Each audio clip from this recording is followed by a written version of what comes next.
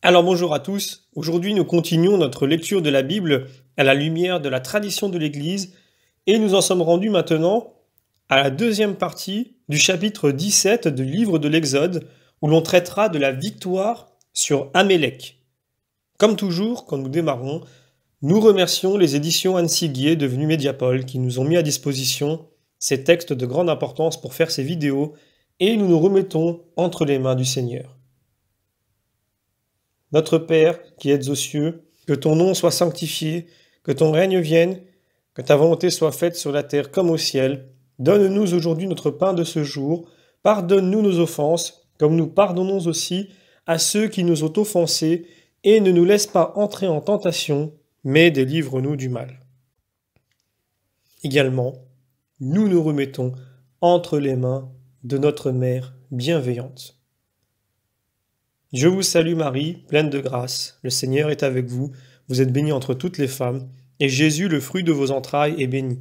Sainte Marie, Mère de Dieu, priez pour nous pauvres pécheurs, maintenant et à l'heure de notre mort. Amen. Également, nous faisons cette demande explicitement à l'Esprit Saint, qu'il vienne corriger dans nos cœurs les erreurs éventuelles qui peuvent provenir d'une formulation maladroite de notre imperfection. Voilà, donc euh, je commence tout de suite, sans plus attendre, à lire cette deuxième partie du chapitre 17 du livre de l'Exode. Amélec vint, et il combattait contre Israël à Réphidim. Moïse dit à Josué, Choisis tes hommes, fais une sortie et combat contre Amalek. Demain. Moi je me tiendrai au sommet de la colline, la verge de Dieu à la main. Josué fit comme lui avait dit Moïse et sortit pour combattre Amalek. Quant à Moïse, Aaron et Hur, ils montèrent jusqu'au sommet de la colline. Et il arriva que quand Moïse levait les mains, Israël était vainqueur. Mais quand il les laissait retomber, Amalek avait le dessus. Les bras de Moïse se fatiguaient, ses compagnons prirent une pierre, la placèrent sous lui, et il s'assit dessus. Aaron et Hur, de part et d'autre, soutenaient ses bras, et il arriva que ses bras terrent bon jusqu'au coucher du soleil, et Josué mit en déroute Amalek et son peuple à la pointe de l'épée. Yahvé dit à Moïse Écris ceci dans le livre pour en garder mémoire, et déclare aux oreilles de Josué que j'effacerai de dessous le ciel la mémoire d'Amalek. Moïse construisit un autel et le nomma Yahvé Nissi, et il dit Puisqu'une main s'est levée contre le trône de Yahvé, Guerre de Yahvé contre Amalek de génération en génération. Alors commençons tout de suite par un commentaire de Saint Grégoire de Nice qui replace l'épisode à la fois dans le cheminement de l'Exode, donc entre le don de la manne et celui de la loi, mais aussi dans les rapports entre Ancien et Nouveau Testament, entre premier et nouveau Moïse, et comme s'appliquant par conséquent à toute vie chrétienne. Je lis. Le prêtre Aaron soutient les bras alourdis de Moïse et se fait aider par un membre de sa famille, circonstance qui n'est pas indifférente au contexte spirituel. Car le vrai sacerdoce, pas le Verbe de Dieu à qui il est uni, ressaisit le dynamisme de la loi qui était prostré jusqu'à terre par la pesanteur de l'interprétation judaïque et le redresse vers le ciel. Il soutient sur la pierre la loi défaillante pour que, debout et les bras en croix, elle montre par cette figure où elle conduit ceux qui l'honorent. Car vraiment, pour quiconque sait regarder la loi par en haut, le mystère de la croix s'y découvre éminemment visible. C'est pourquoi l'Évangile dit que ni le iota ni l'apex de la loi ne passeront, désignant ainsi le trait vertical et le trait horizontal qui ébauchent la figure de la croix.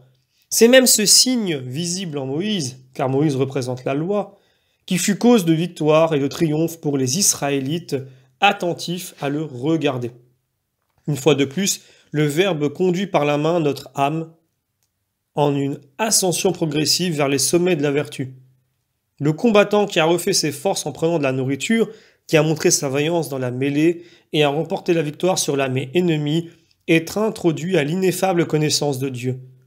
L'Écriture nous apprend ainsi que de choses il faut faire dans sa vie pour oser un jour poser le pied sur le monde de la connaissance de Dieu, affronter le son des trompes, puis entrer dans la ténèbre où est Dieu, recevoir des caractères écrits par Dieu sur les tables. Et si ces tables viennent à être brisées par la faute de qui que ce soit, rapporter à Dieu d'autres tables faites de main d'homme pour que le doigt de Dieu y trace à nouveau les mêmes lettres. Alors voilà ce commentaire de Saint Grégoire de Nice. Là, nous allons relire le verset 14, où il est écrit Déclare aux oreilles de Josué que j'effacerai de dessous le ciel la mémoire d'Amalek. Donc, euh, j'effacerai la mémoire d'Amalek. Alors, cette euh, sentence, qui quand même est, est dure, risque d'être incomprise et donc de scandaliser. D'ailleurs, je peux lire un passage parallèle dans Deutéronome 25. Souviens-toi de ce que t'a fait Amalek sur la route quand vous êtes sorti d'Égypte. Comment il est allé à ta rencontre sur la route et a tué l'arrière-garde de ton armée, tous les faibles qui marchaient les derniers quand tu étais fatigué et épuisé? Il ne craignit pas Dieu. Quand donc Yahvé ton Dieu t'aura donné la tranquillité du côté de tous tes ennemis tout autour, sur la terre, que Yahvé ton Dieu te donne en héritage pour la posséder, tu effaceras le souvenir d'Amalek de dessous les cieux. Ne l'oublie pas. Alors, comme nous l'avons dit, il peut y avoir euh, une euh, incompréhension dans l'interprétation. Alors Dieu insiste, ne l'oublie pas. Donc euh, ce ne sont pas des choses que l'on puisse pudiquement essayer de, se cacher. Tout comme l'endurcissement de Pharaon et en attendant les consignes d'extermination des habitants de Canaan, l'affrontement d'Israël et des Amalécites doit être replacé dans l'ensemble du dessein de Dieu et de l'histoire d'Israël. D'ailleurs, Divo Parsotti en rappelle les étapes dans son ouvrage. Et il dit ceci. Dans l'Ancien Testament, Israël est le peuple de l'Alliance. Dieu s'est lié à Israël par un lien particulier d'amour. Aller contre Israël, c'est aller contre Dieu. C'est pourquoi l'Ancien Testament est si terrible contre ceux qui veulent l'extermination du peuple sien. Donc, il va parler de Exode chapitre 17, en disant qu'après cette victoire, Dieu dit dans l'Exode J'effacerai la mémoire d'Amalek de dessous le ciel. La raison en est évidente. Si Israël avait été exterminé par Amalek, et cela précisément alors que Dieu venait de conclure une alliance avec Israël en vue du salut de toutes les nations, le dessein de Dieu aurait été frustré. Car c'est Israël qui devait porter à toutes les nations la révélation, la loi et la promesse du salut. Dans le Deutéronome, les paroles contre Amalek sont encore plus graves. On voit dans 1 Samuel 15 Or, il arrive que Saül combat contre Amalek. Le prophète Samuel lui rappelle que tout devra être voué à l'anathème, mais Saül épargne les meilleures têtes de bétail pour les sacrifier à Dieu, et surtout il épargne la vie d'Agag, le roi. Saül, qui est allé contre un ordre formel de Dieu, sera donc réprouvé. Prenons Esther chapitre 3. Assuérus éleva aux plus hautes dignités Aman, fils de Hamdata, la descendance d'Agag, donc le roi d'Amalek vaincu par Saül. Aman fit le projet d'exterminer tous les Juifs qui habitaient dans le royaume d'Assuérus. Prenons maintenant le chapitre 7 d'Esther, où Esther demande grâce pour son peuple. Assuérus fait prendre Aman et donne pouvoir aux Juifs de tuer tous leurs ennemis.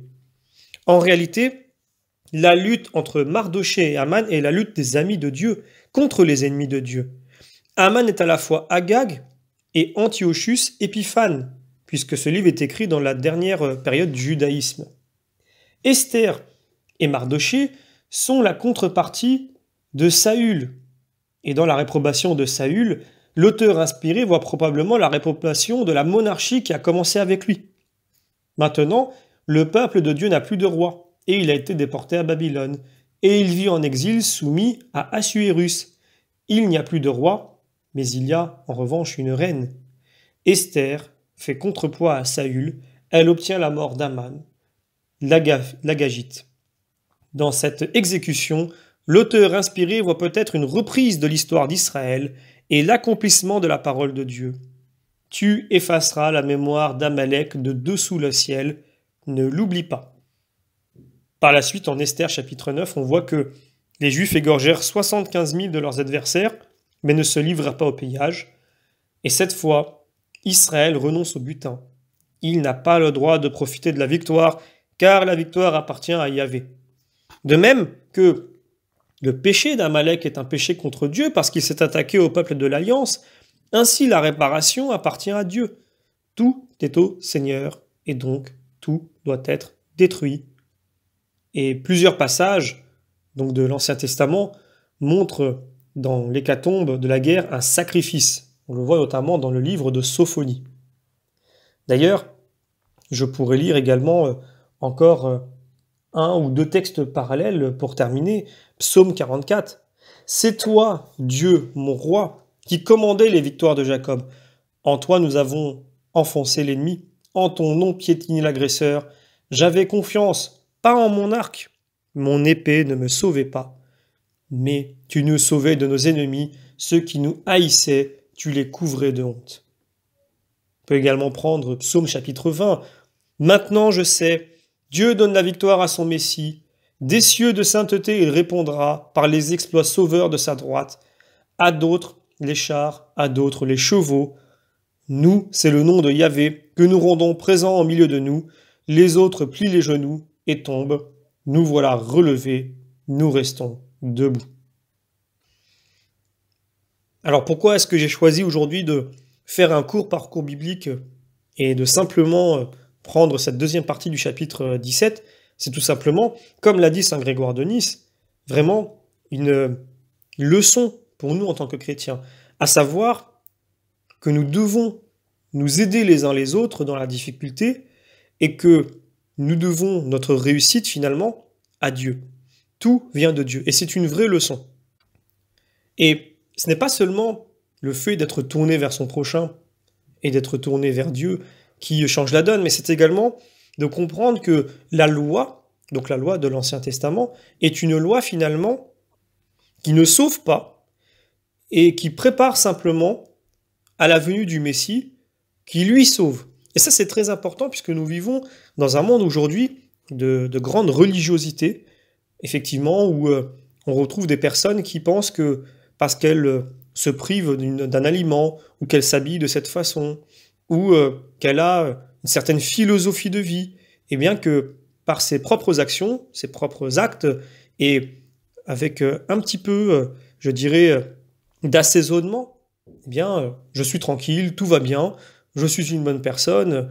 Finalement, voilà. On peut aller plus loin. Certains ont des rituels beaucoup plus stricts. Certains se privent réellement. Il y a des religions ou des pensées, des philosophies, ou des, tout simplement des, courants qui, dans la vie de tous les jours, eh bien, nous, euh, nous, nous, limitent ou nous contraignent euh, très largement et on se dit, plus je vais me limiter, ou alors plus je vais m'astreindre de façon très spécifique à des moments euh, de prière ou à des moments où je vais dire telle parole ou à des moments où je vais me refuser complètement à certaines choses, eh bien, cela va faire de moi une, une bonne personne et cela va m'aider.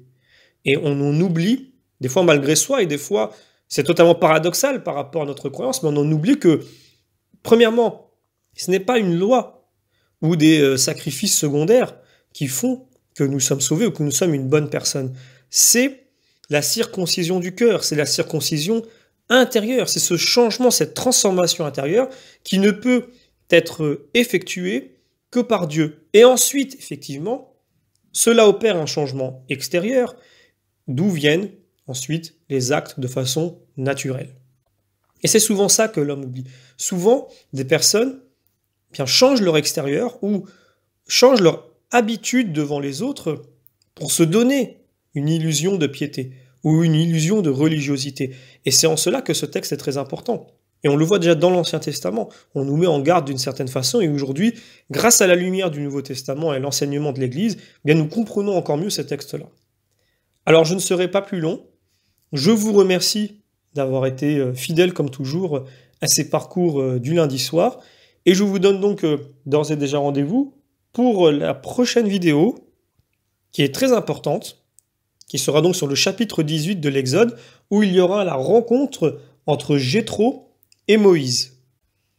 C'est le dernier chapitre de l'arc que nous avions ouvert entre le chapitre 12 et le chapitre 18 sur la sortie en Égypte. Viendra après le chapitre 18, évidemment, l'alliance du Sinaï. Je vous remercie pour votre fidélité et je vous dis à très bientôt.